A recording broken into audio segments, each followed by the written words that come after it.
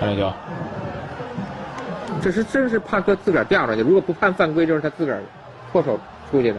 所以曾文鼎说要要要挑战录像，嗯，挑战录像，没没判，嗯，挑战录像，挑战录像的时候有规矩啊，所有的人全部离开，只留两个保安，对，然后呢，双方的教练就可以了，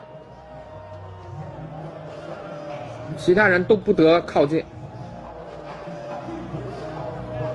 因为他们上海队呢本身现在暂停多，如果挑战失败，大不了我剩一次暂呃三次暂停，我还比你多一次。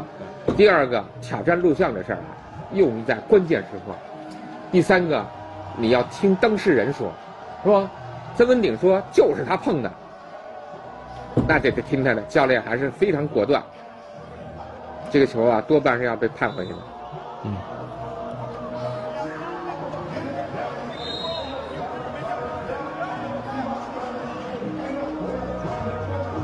看看是怎么着，还是维持原判吗？